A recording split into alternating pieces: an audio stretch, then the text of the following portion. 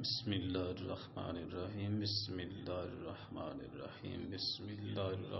बसमीम सल्लल्लाहु हबीबी मुहम्मद व आली वसल्लम बिस्मिल्लाहिर्रहमानिर्रहीम।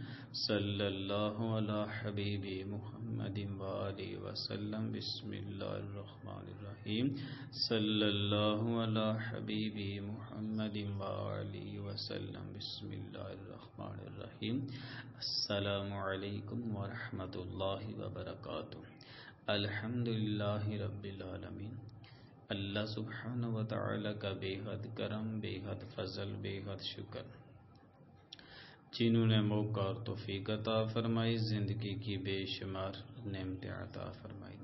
अल्लाह सुबहान ताला सब की ज़िंदगी में आसानियाँ पैदा फरमाए, तमाम बीमारों को शिफाए कामला अजलाता फरमाए। तमाम परेशान हालों की परेशानियाँ अपनी रहमत के सदके दूर फरमाए। उम्मत मुसलमान की खैर फरमाए, मुल्क पाकिस्तान की खैर फरमाएँ। जहाँ कहीं मुसलमान जुल्म सितम में डूबे हैं मालिक, अपनी रहमत के सदके उन्हें आज़ादी की नमत अता फरमाएँ। उम्मत मुसलमान को इस मूजी वबा से निजात अता फरमाएँ। मुल्क पाकिस्तान को इस मूजी वबा से पाक फरमाएँ।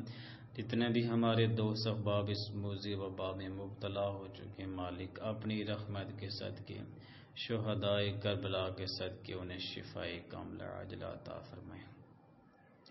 बसमीम हबीबी मुहम्मद वसल्लम। रमज़ान मुबारक अपनी अजमतों, रहमतों, बरकतों के साथ, अपनी मंजिल की तरफ़ तेज़ी के साथ रवा दवा है। जितना भी हो सके अपने मालिक को राज़ी करने की ज़रूर कोशिश कीजिए। अल्लाह के महबूब सल्लल्लाहु ताला अलैहि वसल्लम ने इरशाद फरमाया कि ये वो माह मुबारक है, जिसमें अल्लाह सुबहान व ताला ने एक ऐसी अजीम रात अता फरमाई, मेरे ग़ुलामों को, जो एक हज़ार महीनों से अफसल तरीन रात है बबरकत वाली असमत वाली रात है। अपने ग़ुलामों की आसानी के लिए अल्लाह के महबूब सल्लल्लाहु जो हर वक्त इबादत के लिए कमर बस्ता रहते थे। हर वक्त इबादत में रहते थे। रमज़ान हो या गैर रमज़ान, अब सारी सारी रात इबादत में गुजार देते कभी क्याम में, कभी रकू में, कभी सजूद में। सिर्फ़ अपनी उम्मत, मेरी उम्मत को मालिक बख्श दें तो आप सल्लल्लाहु अलैहि वसल्लम ने अपने ग़ुलामों की आसानी के लिए माह रमज़ान मुबारक में एक मरतबा पूरे महीने का आपने इतकाफ़ फरमाया।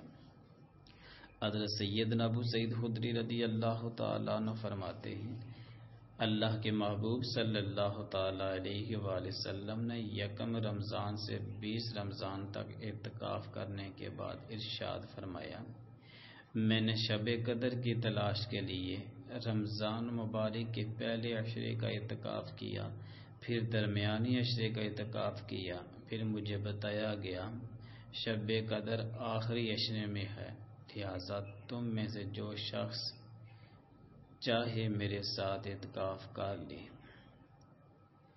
कि मुझे बताया गया है कि शब कदर रमज़ान मुबारक के आखिरी अशरे में है। हज़रत सैद नबू सईद खुदरी रदी अल्लाह फरमाते हैं कि अल्लाह के महबूब सल्लल्लाहु ने इरशाद फरमाया कि आप सल्लल्लाहु अलैहि वसल्लम ने एक तुर्की खेमा लगाया और उसके अंदर आपने रमज़ान मुबारक के पहले अशरे का इतकाफ़ फरमाया, फिर दरमियानी अशरे का, फिर सर अकदस बाय नकाला और फरमाया, मैंने पहले अशरे का इतकाफ़ किया शब कदर तलाश करने के लिए। फिर इसी मकसद के लिए दूसरे अशरे का भी इतकाफ़ किया। फिर मुझे अल्लाह ताला की तरफ़ से ये खबर दी कि शब कदर आखिरी अशरे में है।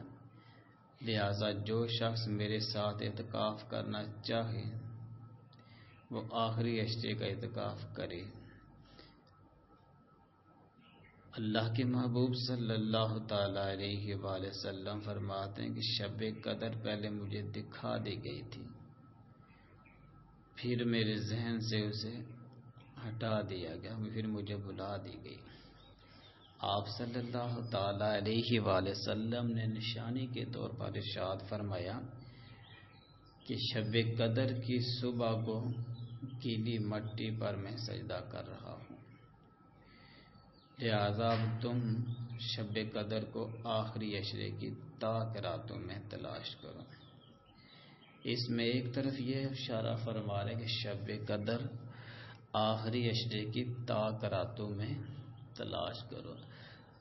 मतलब ये शब कदर जो है ये चेंज होती रहती है, बदलती रहती है, कभी इक्कीस, कभी तेईस, पच्चीस तेईस उनतीस।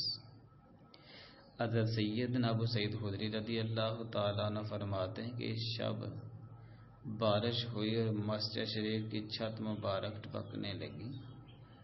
चुनाचे इक्कीस रमज़ान मुबारक की सुबह को मेरी आँखों ने अल्लाह के महबूब सल्लल्लाहु अलैहि वसल्लम को इस हालत में देखा कि आप सल्लल्लाहु अलैहि वसल्लम की पेशानी मुबारक पर पानी वाली गीली मट्टी का निशान आली शान था। तो अल्लाह के महबूब सल्लल्लाहु अलैहि वसल्लम ने निशानी के तौर पर हमें ये बताया कि वो बारिश वाली रात भी हो सकती है। कि रात को बारिश हो, अल्लाह रब्बुल आलमीन की रहमतों का नजूल हो, वो रात भी शब कदर की रात हो सकती है। अल्लाह के महबूब सल्लल्लाहु अलैहि वसल्लम इबादत से कितनी मोहब्बत करते तो हमें सिखाने के लिए। आप सल्लल्लाहु अलैहि वसल्लम ने रमज़ान मुबारक के पूरे महीने का भी एहतिकाफ फरमाया। अल्लाह सुबहान व ताली हम सबको अमल की तोफीक अता फरमाए। अपना, अपने चाहने वालों का और अपने आसपास रहने वाले सफ़ेद पोश दोस्तों का, रिश्तेदारों का ख़ास ख्याल रखिए। असलकम वरहमल वर्का